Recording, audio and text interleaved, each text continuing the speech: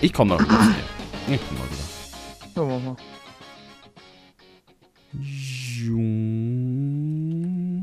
Also, das Pult, habe ich mir vorgestellt, sollte so ausschauen. Wir haben jetzt, also kurz die Idee, wir haben ja sau viele Items in Minecraft. Das sind um die 300 oder so. Ja, Also 300, brauchen wir- glaube ich, die man besitzen kann im Ingame. Genau. Ähm, dann haben wir sozusagen, also uns reichen die Einser nicht, die gehen ja nur bis 9. Die 10er reichen uns auch nicht, weil die gehen nur bis 99 und dann brauchen wir also die 100er, die gehen bis 999. So, das ist jetzt so die Idee gewesen. Ein Eingabepult, in dem wir eingeben können ähm, die 1er Stelle, die 10er Stelle und die 100er Stelle von 0 bis 9. Damit haben wir dann sozusagen alles abgegriffen, was, ähm, was wir an Stellen haben. So, jetzt ist, war das Ding, wie, wie bringe ich sozusagen das Signal von dem Button weg? Aber warte mal Weil kurz. soll. Äh, wenn ich zum Beispiel 421 haben will, dann habe ich hier die 100er Stelle, mache ich hier die 4, 21, also 10er ist 2 und 1er Stelle 1. Dann wäre es die 421. Genau. So nochmal als Erklärung, falls jemand nicht ganz mitkommt.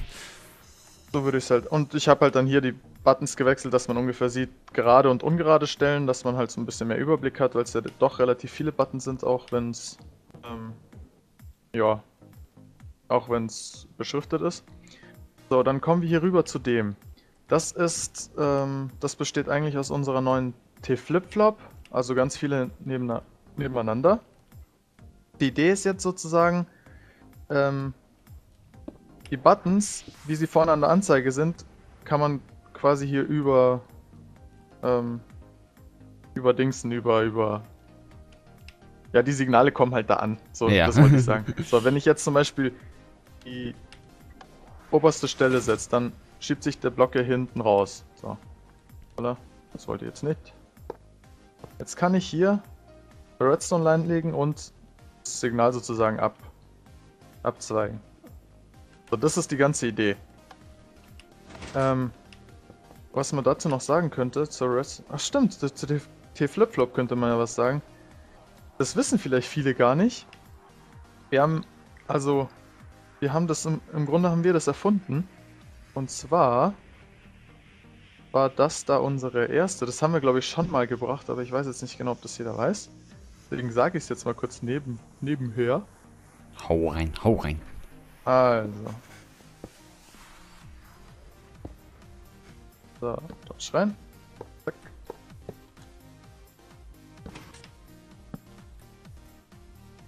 Diese T-Flip-Flop hat wahrscheinlich schon jeder mal gesehen und jeder gebaut, aber irgendwie weiß kein Schwein, dass wir die erfunden haben. Signal und kein Signal.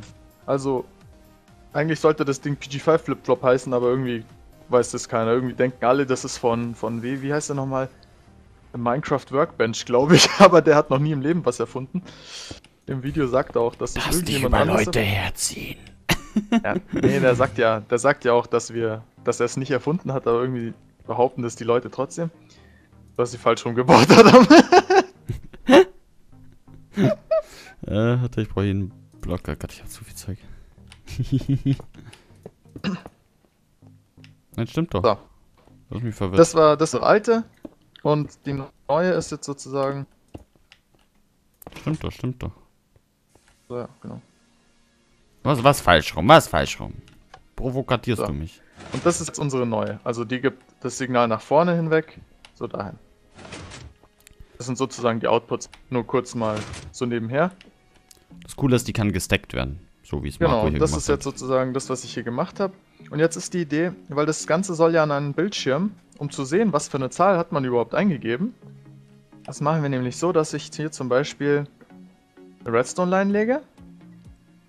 Und dann mache ich hier einen Comparator hin. So, das zeige ich ganz kurz mal, indem ich hier weiterziehe. So. Zum Beispiel gebe ich jetzt mal die Zahl 9 ein. Dann wird es Signal um das Neunfache hier auch wieder verlängert, so wie vorhin Adam das erklärt hat auf dem Comparator. Also das Signal ist jetzt hier 1 drauf, das müsste also 14 Kästchen weitergehen. Ja. So. Wenn ich jetzt, wenn ich jetzt aber zum Beispiel die 8 drücke, dann ändert sich das Signal genau um 1. Also es wird um ein Kästchen kürzer. Und 13 haben wir jetzt, glaube ich, ja. Genau, und jetzt kann 14. ich zum Beispiel. Ja, genau. Ist ja wurscht, im Grunde. Jeder weiß, was gemeint ist. Jetzt kann ich zum Beispiel sehen, wenn ich hier. Ah, nee, Dings musst du hier bauen. Äh, Repeater wollte ich nehmen. genau. Mit den Repeatern kann ich jetzt sehen. Aha. Drücke ich nochmal die 8. Und dafür dann jetzt die 9. Jetzt sind 3 an statt, statt 2. Und jetzt? Zum Beispiel nur 2. Jetzt nur noch einer. Und so kann ich dann später rauslesen, was ich auf, auf das Display schreibe. Also das kommt dann zum Beispiel in den Block, das geht dann weiter und dann wird das ähm, Display kodiert damit. Das ist die Stelle 1, das ist Stelle 2 und so weiter und so weiter. Das ist, wie es funktionieren soll.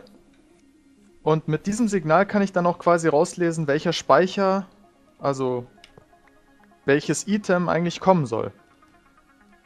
Da unser System ja auch noch was Cooles machen kann, also machen soll, be- beziehungsweise es dann können wird, ähm, wir haben uns gedacht, machen wir das halt mit Stacks. Also zum Beispiel, man gibt ein, man will einen 64er Stack.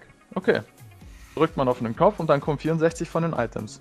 Jetzt soll es aber auch noch zum Beispiel die Hälfte geben. 32, 16, 18 und 1 und 2 haben wir uns gedacht. Das wären noch so die coolen Zahlen.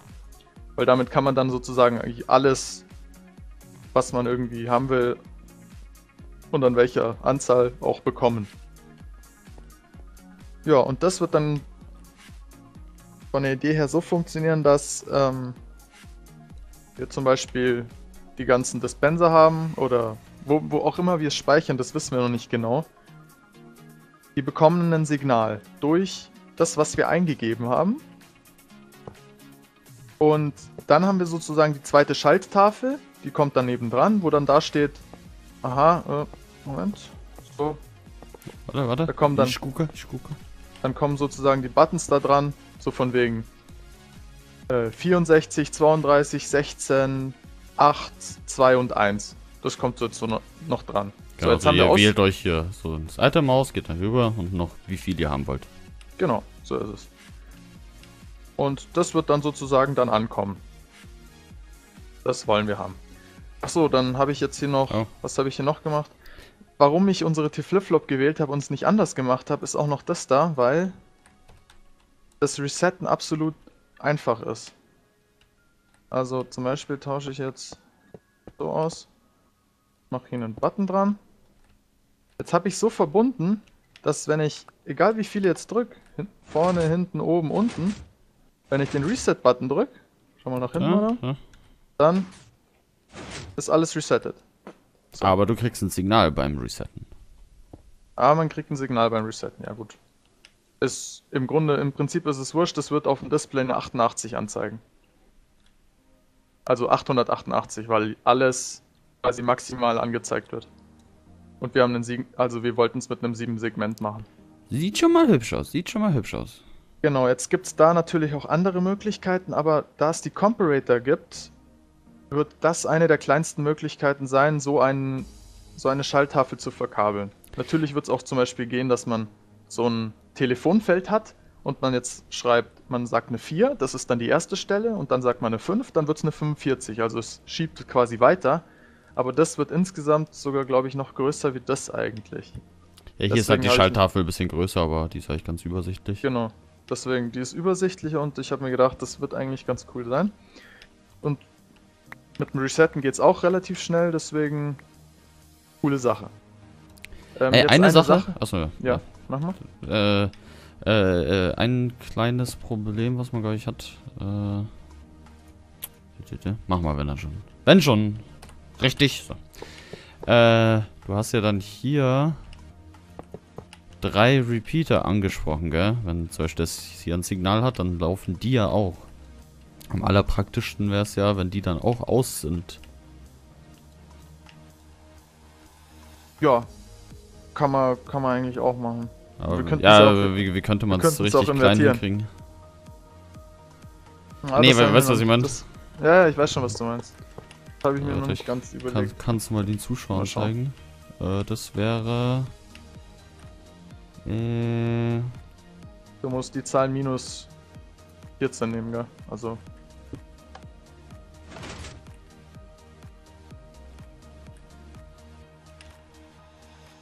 äh, Adam.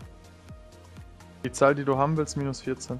Also Ja. zum Beispiel, wenn du jetzt die 0 Warte, drücken hier. würdest.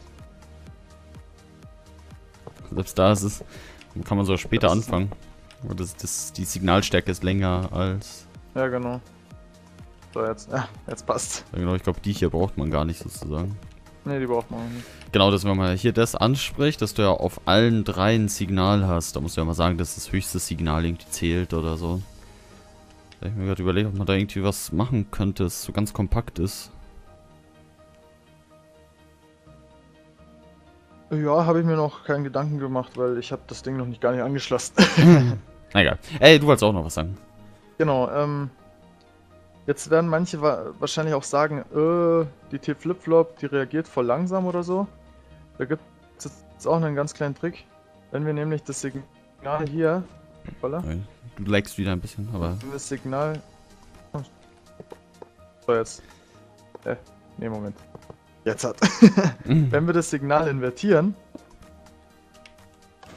dann wird es eine ganz schnelle. Also die reagiert sofort. Fast eine so- Instant-Flip-Flop. Nebenbei. Und das werde ich auch so machen. Also ich werde sozusagen dieses Pult jetzt hier hin verschieben und dann so kompakt wie möglich das Ding verkabeln. Nicht schlecht, nicht schlecht. Ja, Ich freue mich drauf. Ich freue mich drauf. ich auch. Äh, so, äh, achso, ja, ja Und auf die Probleme, die mitkommen. Ja, die, die werden noch schlimmer. Dann schaue ich mal wieder rüber zu mir. Denn da habe ich jetzt ja auch ein kleines Problem. Das letzte Mal entdeckt. Thank you.